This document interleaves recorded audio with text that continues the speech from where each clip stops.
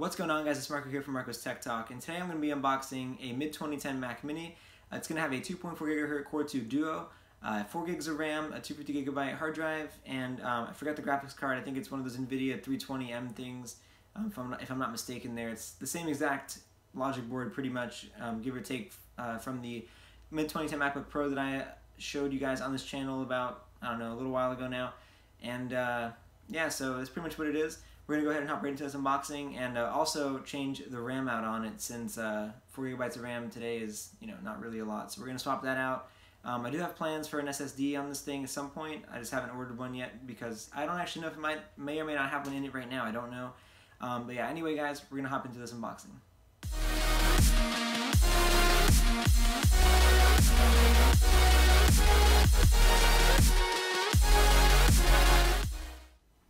So here's the box. It's uh, you know, not going to be in its factory box. I think I got this from like Goodwill or something on eBay. Um, I'm just going to go ahead and open this up, see what we've got here, and uh, you know, take it apart and swap out the RAM and see what happens.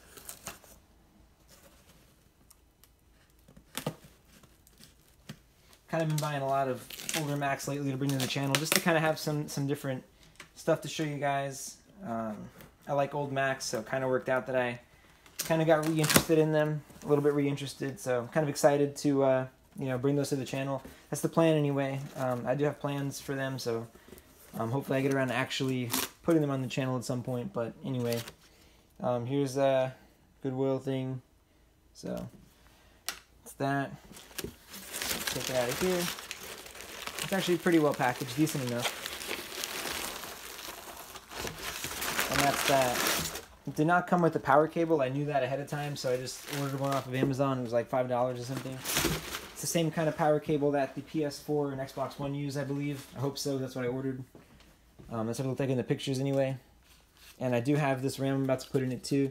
Um, it's the same RAM I put in the MacBook Pro. It's the PC3 8500 DDR3 8GB stick, which should give us a total of um, 10 gigs on this.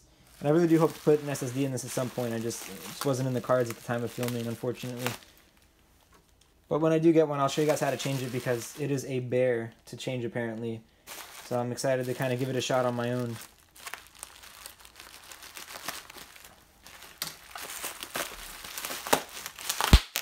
It's very loud. All right. So here it is. This is the uh, first one I've ever really seen up close, like in a few years actually. I mean, granted these were at the Apple Store, um, but they're not anymore. Um, yeah, this is it. It's a, like I said, the mid 2010 one. This was, I think, the last one that actually had a DVD drive on it. Um, let me go ahead and clean this off a little bit because it's got this nasty residue on it. And aside from that, let's check out the ports. We do have an assortment of ports on this. Oh, it actually has a display port. I did not know that. So we got our power in, our power button, Ethernet, FireWire 800, HDMI. I'm not sure which point. Oh, I think it's like 1.3 or something. Display port. I'm sorry, mini display port. Four USB 2.0s from my understanding. Um, and then a headphone jack, and I think that's a mic in. I don't really remember what that icon is, but oh, and then also an SD card slot, so that's pretty handy. Um, as for the bottom, just says Mac Mini on it. This is the cover here. We're going to just op open up in a second. I think all you do is kind of twist this, but I have to double check before I do that kind of makes sense. Looks like it's locked. So, um, so we're gonna go ahead and clean this guy up real quick, and uh, we'll hop into opening it up. That's that. It should be off now. And that's that. Sweet. That was easy. It's pretty clean overall. That's good. Um, all right, so go ahead and zoom in on here so we can see kind of what we're dealing with. Um, looks like we do still have 4 gigabytes of RAM in this little guy. Um, so I'm just going to go ahead and pull one of the sticks out.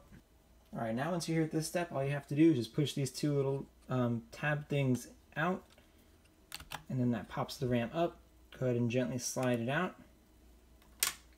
Grab your new RAM, which in this case is uh, this RAM. It's PC3, sorry, it's PC3 8500.